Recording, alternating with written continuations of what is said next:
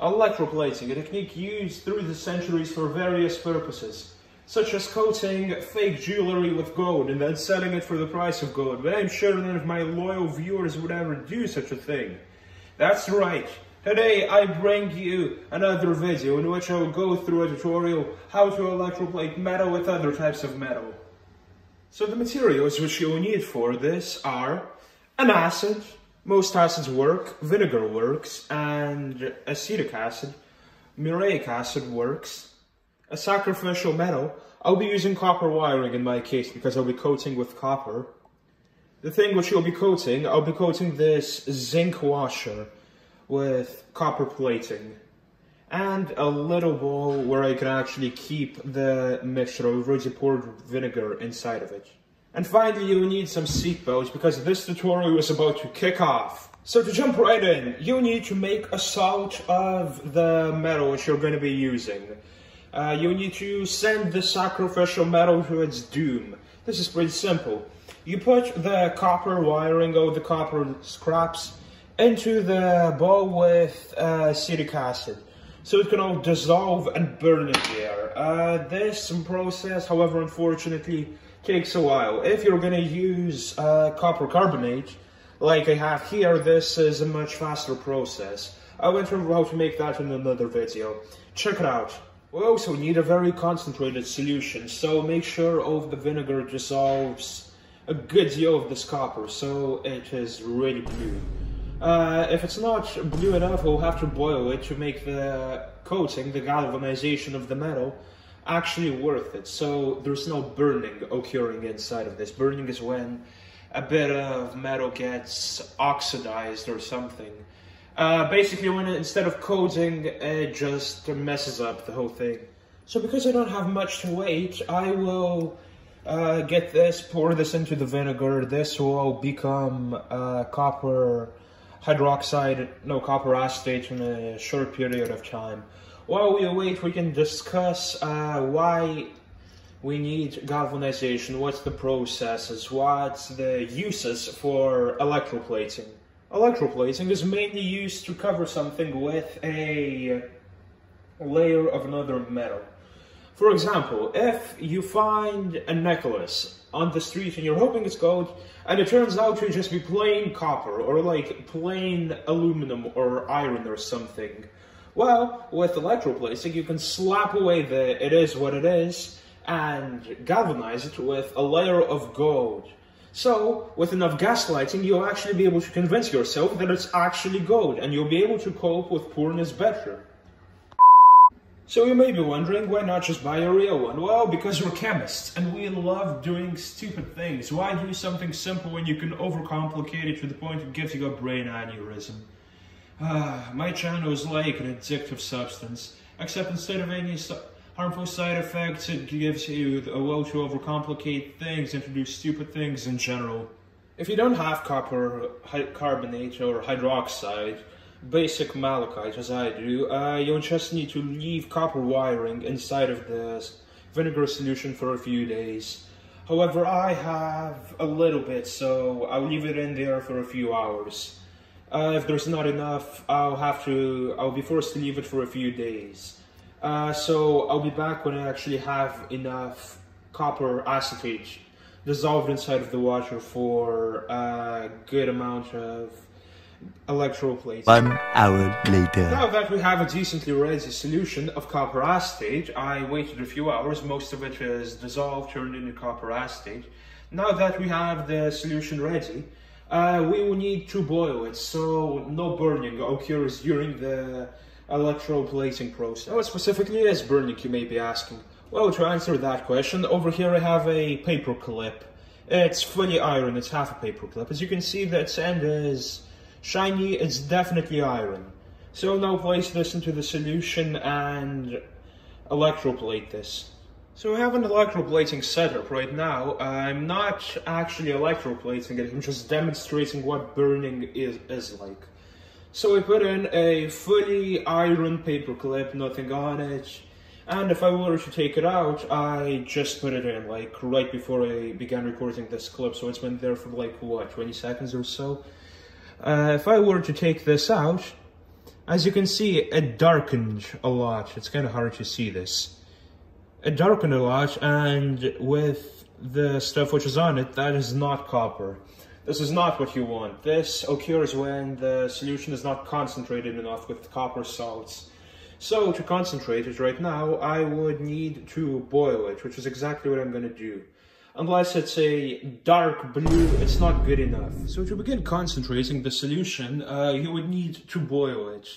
I here poured it into a flask, a slightly bigger flask. The flask specifically needs to be made out of glass, so no pots or pans because uh, copper acetate or acetic acid, when heated up, becomes a lot more reactive and it will end up just dissolving your iron pan. So here I have a slightly bigger flask. Uh, the last one completely shattered when I tried to distill methanol.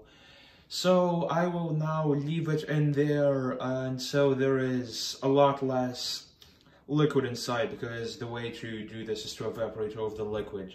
Uh, if you're going to do this and you still think you have a little bit of vinegar left inside of it, just try not to breathe it in. Vinegar fumes are quite unpleasant. I figured this out in the experimental way. Oh yeah, make sure not to burn it because copper acetate can decompose into copper carbonate, I think.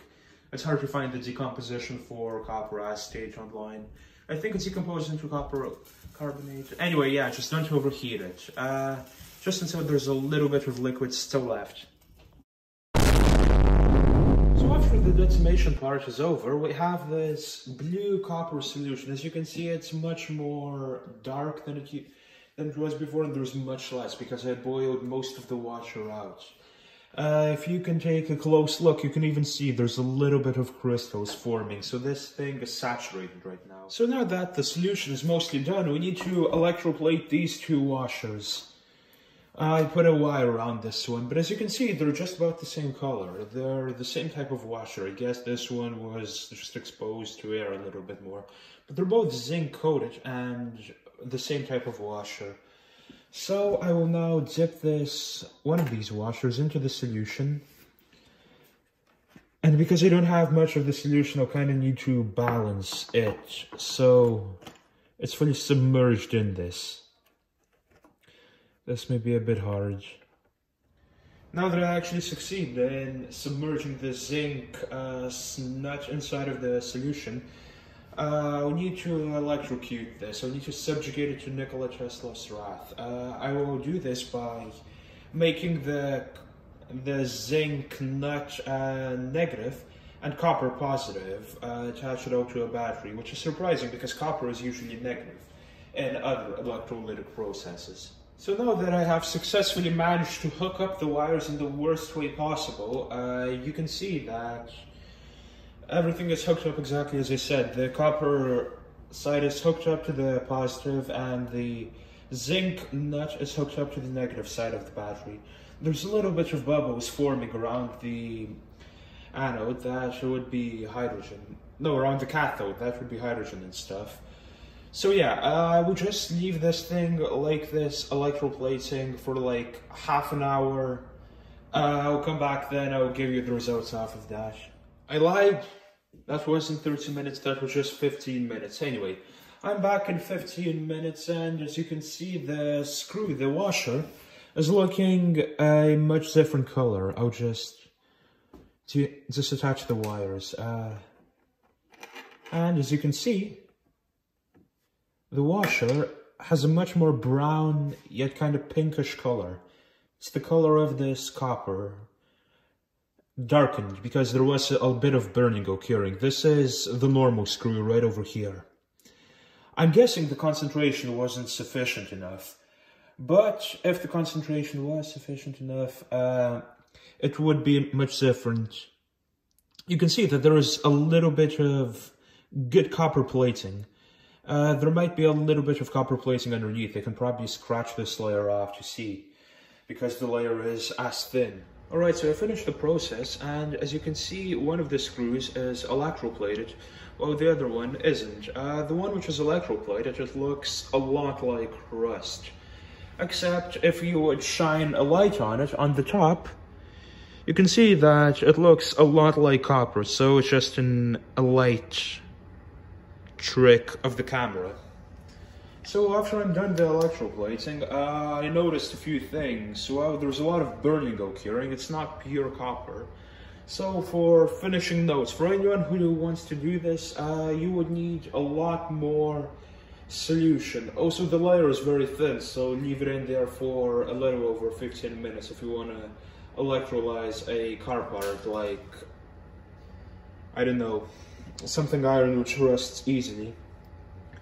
And also increase the distance I've, between the electrodes. I found that that helps a lot to stop the prevention of iron oxide or any type of burning. So right as I was getting this out of the bath, I quickly came to a realization. Because this, uh, the burning is made up of iron oxide, perhaps I could dunk it in vinegar and see how that works. Anyway, it's a dunk it in vinegar, and it actually worked out surprisingly well.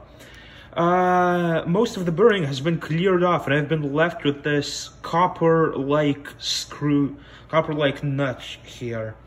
Uh, it's very smooth, there's hardly any more burning on it.